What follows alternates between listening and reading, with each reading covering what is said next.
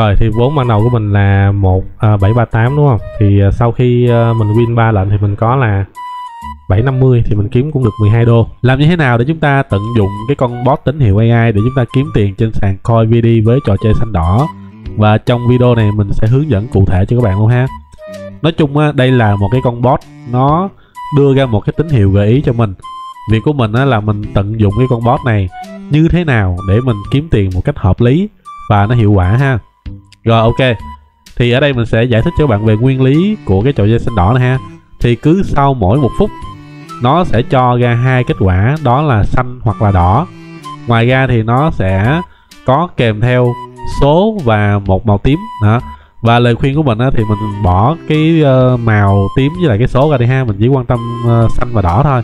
Và con boss này cũng vậy ha nó chỉ quan tâm xanh và đỏ và nó đưa cho mình một cái tín hiệu để mình đi thôi ha. Ở đây là một cái tín hiệu nó gợi ý cho mình. Ha mình sẽ dựa vào tín hiệu gợi ý để mình đưa ra một cái quyết định tốt nhất để mình kiếm tiền.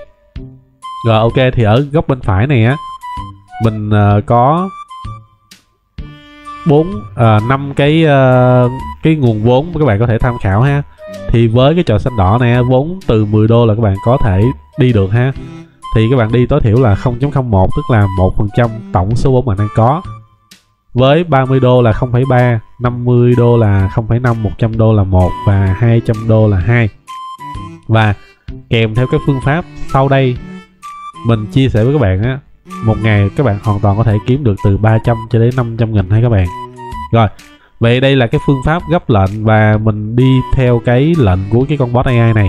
Đó ở đây mình sẽ gấp tối đa là 4 lần. Và nếu mà trường hợp xấu nhất mà các bạn có bị lỗ thì mình chỉ lỗ 15% thôi ha. Nếu mà lỗ 15% thì mình hoàn toàn có thể kéo lại được. Rồi thì uh, ở đây thì mình cũng có chia sẻ với các bạn luôn ha. Một phiên như vậy á các bạn chốt khoảng tầm từ 1 cho tới 3 lệnh win thôi. Đừng có chốt nhiều quá ha bởi vì là mình còn thời gian để mình làm việc nữa. Và một ngày các bạn có thể chốt từ 1 cho tới 3 phiên ở đây, ví dụ một ngày các bạn chốt 3 lệnh win và chốt trong 3 phiên đi, thì một ngày các bạn có được bao nhiêu?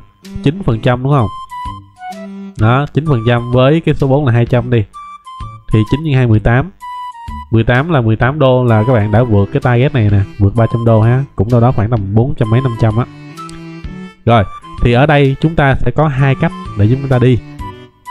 Cách đầu tiên là chúng ta sẽ đi theo bot, nhưng với một điều kiện là chúng ta sẽ xem thị trường. À thị trường là nó nằm ở đây nè lịch sử nó nằm ở đây nè. Vậy thì đầu tiên các bạn sẽ vào các bạn xác định cái xu hướng thị trường là gì. Đó các bạn chỉ nhìn uh, tổng quát sau đó các bạn nhìn thêm cái phần này nữa. Vậy thì cái xu hướng thị trường ở thời điểm hiện tại á là xanh và đỏ nó nó ngang nhau. Được chưa? Nó có xu hướng uh, thiên về xanh nhiều hơn vậy thì mình xác định đây là xu hướng xanh. Bây giờ xanh nhiều thì xu hướng xanh. Và cái thứ hai, các bạn xem giùm mình nữa là cái số lần lặp lại của những màu nó như thế nào. Ví dụ như màu xanh, cái số lần lặp lại là ba lần liên tục. Ở đây là ba lần liên tục, hai lần hai lần, ba lần. Vậy thì cái tỷ lệ lặp lại của màu xanh nó khá cao. Cái thứ hai là bạn xem là cái tỷ lệ lặp lại của màu đỏ. Có những lần là bao nhiêu? Ở đây một nè, một một nè, hai nè, một, hai hai, ba nè vậy thì, cái số lần lặp lại của màu đỏ nó thấp hơn màu xanh. À cho nên chúng ta sẽ kết luận, thứ nhất, đây là xu hướng màu xanh, cái thứ hai là số lần lặp lại của màu xanh nó nhiều hơn màu đỏ, cho nên là chúng ta ưu tiên đi lệnh có lần lặp lại của màu xanh. Được chưa? Đó. Sau đó chúng ta sẽ nhìn cái lệnh gần nhất. Lệnh gần nhất bây giờ nó báo là màu xanh, đúng không? Chúng ta xem lịch sử trước đó của nó nè. Bây giờ nó đang báo đỏ cho mình, đúng không? Xanh, đỏ, xanh nè đây, mạng nó hay lắc các bạn chờ mình xíu nha, để mình à, F5 lại. Ở thời điểm hiện tại thì à, mạng nó sẽ hơi lắc một xíu, bởi vì là mình vẫn còn bị cái tình trạng là đứt cáp do do đường cáp quốc tế ok, thì bây giờ nó báo mình một lệnh đỏ nè. Các bạn thấy cái tỷ lệ xanh nó lặp lại khá nhiều, đúng không? Nó cũng gần chuyển sang màu đỏ. Nhưng mà mình thấy nó chỉ có một xanh thôi, cho nên là cái lệnh này, cái khả năng mà nó ra màu xanh nó cao đúng không? Cho nên là mình sẽ không đi cái lệnh này. Đó, thì với cách thứ nhất á, các bạn sẽ vừa xem thị trường và vừa xem gợi ý của con bot để mình đưa ra quyết định. Được chưa? Rồi, còn cách thứ hai thì các bạn không cần phải làm gì hết. Các bạn chỉ cần chờ hai lệnh của cái con boss nó đi lỗ, nó đi thua á. Và cái lệnh thứ ba của con boss, mình sẽ đi cái lệnh đầu tiên của mình. À bây giờ mình sẽ thị phạm cho các bạn luôn ha. Một lệnh thua, hai lệnh thua ba lệnh thua, lúc nãy là ba lệnh thua ha. Bây giờ lệnh thua của nó thứ tư, bây giờ mình sẽ vào luôn nè. Ở đây nó báo xanh thì mình sẽ vào một lệnh xanh luôn, mình sẽ vào 5 đô nha. Mình sẽ vào 5 đô. Vốn của mình là 738 chấm 879 ok, mình sẽ đi một lệnh xanh này ha. Mình đi theo nó. Với cái cách thứ hai á, các bạn không cần phải nhìn thị trường, không cần phải xem gì hết. Các bạn chỉ cần tập trung canh cái con boss. Nó có hai lệnh thua liên tiếp vậy thì cái lệnh thứ ba nó đi, các bạn sẽ nhảy vào đi cái lệnh ba chung với nó. Nhưng mà ở đây mình đi cái lệnh đầu tiên.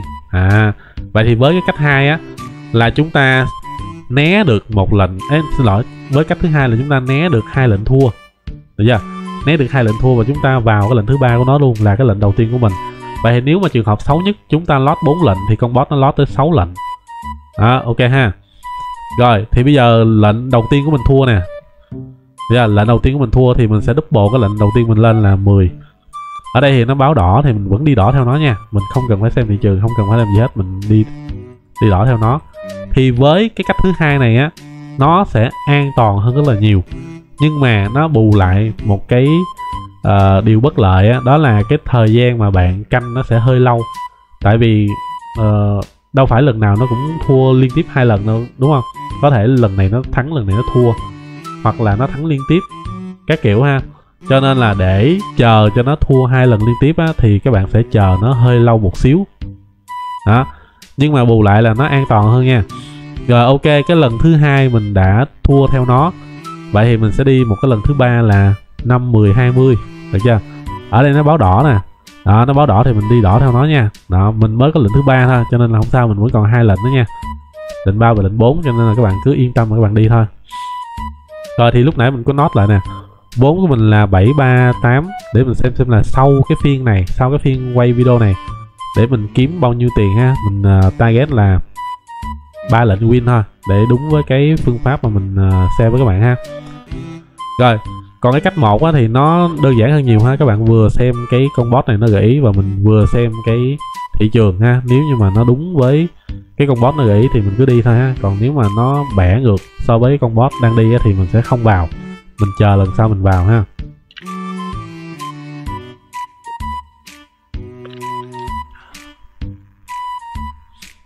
Ok, lần thứ ba. Đúng không? Lần thứ ba. Thì mình vẫn còn lần thứ tư để mình kéo nha. 5 10 20 40 nè. Đó, ok 40 mình kéo nó báo xanh thì mình cứ đi xanh nha đi xanh theo nó. Đó để xem xem là lần thứ tư này mình có uh, lót theo hay không ha. Nè các bạn xem lịch sử nè. À đây nè cái lần đầu tiên mình đi nè. Đây nè ha. 14 giờ 56 nè. Đây là cái lệnh trước đó mình mình mình đi mình kéo lại à. Một nè hai nè ba nè đúng không? Đó lần thứ tư mình đi nè. Đó cho nên với cái cách thứ hai này các bạn cứ đi theo nó ha. Lần thứ ba của nó là lần thứ nhất của mình. Đó. Và mình sẽ chấp nhận tối đa cái rủi ro của mình là mình lót 4 lệnh liên tiếp nha. 4 lệnh thì chỉ có 15% thôi mình kéo lại trong vòng một ngày cho đến hai ngày là mình kéo rồi. Đó, mình không có lo về cái cái phương pháp này.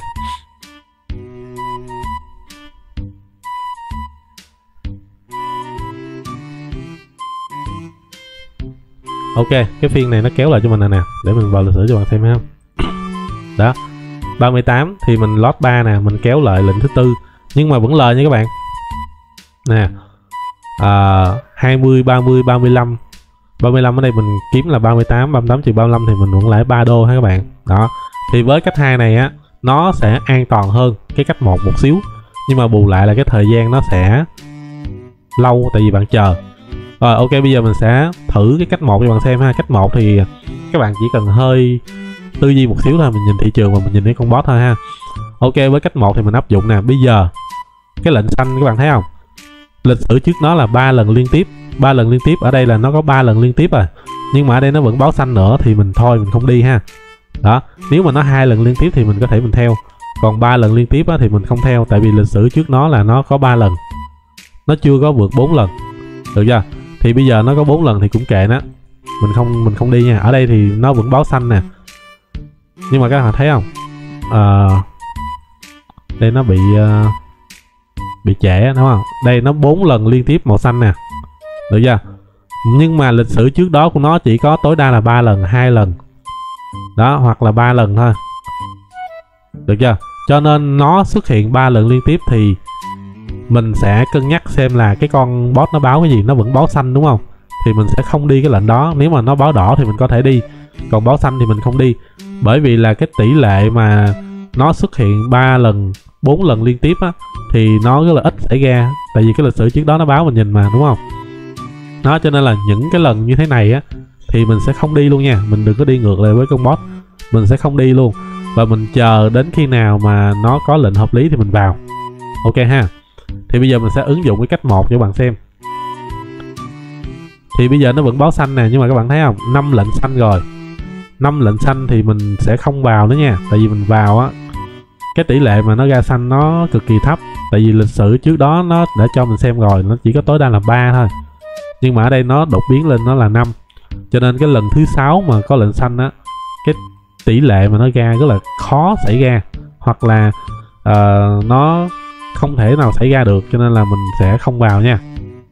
Đó thì với cái phương pháp mình à, chia sẻ các bạn vừa ứng dụng cái gợi ý của con boss và mình vừa xem cái thị trường vừa xem cái lịch sử trước đó của nó nữa thì cái tỷ lệ mà bạn bị à, lót á nó cực kỳ thấp ha. Lót 4 lần thì mình tin chắc là rất là thấp. Tại vì từ uh, lúc mà ứng dụng con boss tới giờ mình chỉ lót tối đa là ba lần thôi lần thứ tư là mình kéo lại à. Bởi vì là không phải lệnh nào mình cũng theo con boss hết. Ha có lệnh mình theo và có lệnh mình không theo. Mình sẽ dựa vào cái lịch sử thị trường trước đó. Đó, đúng không các bạn? Các bạn thấy không? Lần thứ sáu thì nó rất là khó xảy ra. Có thể nó vẫn xảy ra nhưng mà các bạn xem lịch sử trước đó. Nếu mà lịch sử trước đó của nó nó xuất hiện lần thứ sáu, hoặc là lần thứ năm, hoặc là lần thứ bảy gì đó, thì các bạn có thể theo. Nhưng mà lịch sử trước đó nó không có xuất hiện lần thứ sáu. Nó chỉ tối đa ba lần thôi. Thì mình sẽ không theo nha. Mình chờ nó bẻ lệnh và mình đi theo cái lệnh tiếp theo của nó ok, thì bây giờ nó báo đỏ nè. Thì mình sẽ đi theo một lệnh đỏ đầu tiên. Là năm. Bây giờ, mình đi nè. Đó, mình đi theo. Và mình nhìn thị trường nó. Đó, đỏ thì nó vẫn có hai lần liên tiếp ha.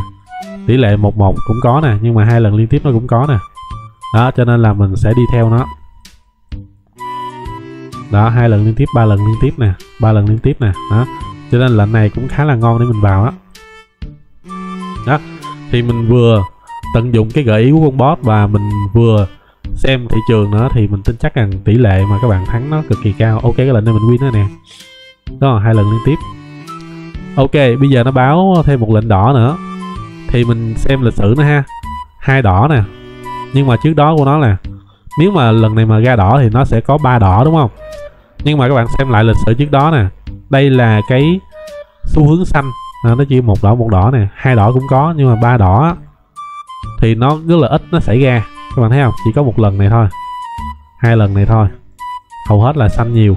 Cho nên lần thứ ba nó ra đỏ. Lần thứ hai nó có đỏ, nó báo lần thứ ba ra đỏ thì lần này mình sẽ không vào. À mình sẽ chờ tiếp. Đó.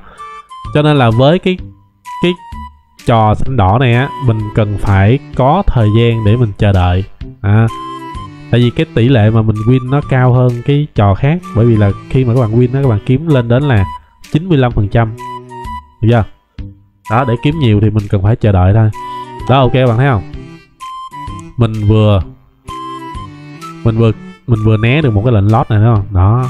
Cho nên là mình mình nhìn vào thị trường và mình nhìn vào gợi ý của nó, mình đi thôi. Ok, bây giờ nó báo ờ, báo đỏ nè thì à, mình sẽ vào ha, vào theo nó nha.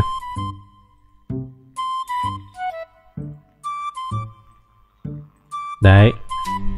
Mình có hai lệnh win đó lệnh này mà win đó thì mình chốt nha. Đó. Nói chung thì cái việc mà mình tận dụng con boss này á, nó sẽ giúp cho mình có được cái tỷ lệ thắng cao hơn rất là nhiều, ha, so với là việc không có. Thì với cách một này mình nhắc lại ha, mình vừa xem cái gợi ý của con boss và mình vừa xem xem uh, thị trường nữa để mình đưa ra được cái quyết định tốt nhất ha các bạn. Ok lệnh đầu mình lót nè. Thì mình sẽ đi lệnh thứ hai. Thứ hai là 10 thì mình đi theo xanh ha. Nó báo xanh thì mình đi theo xanh. Và các bạn lưu ý ha nếu mà lệnh đầu mà mình đi theo nó rồi á thì lần đầu nếu mà có lót á thì lần hai mình vẫn phải đu theo nó nha. Đu đến tối đa là 4 lần và mình buông.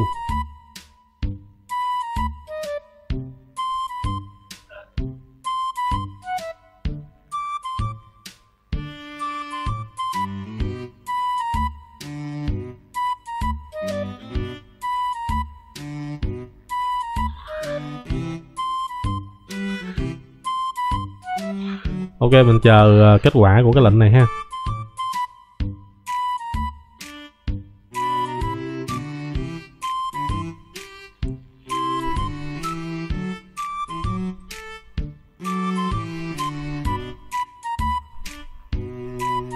Ok lần thứ hai nè. Lần thứ hai mình lót đúng không? Thì lần thứ ba mình đi theo nó lần thứ ba nữa nha. Nó báo đỏ thì mình vẫn đi đỏ thôi. 5, 10, 20 nè ha. 20 mình đi đỏ nè à, mình nhìn vào chạc thì mình thấy đỏ cũng hợp lý hai cái đỏ liên tiếp cũng có thể xảy ra nè. Đó. Thì mình mới đi lần thứ ba thôi mình vẫn còn thêm một cơ hội nữa mà ha. Tối đa là mình có bốn cơ hội để mình à, kéo lại vốn của mình nha.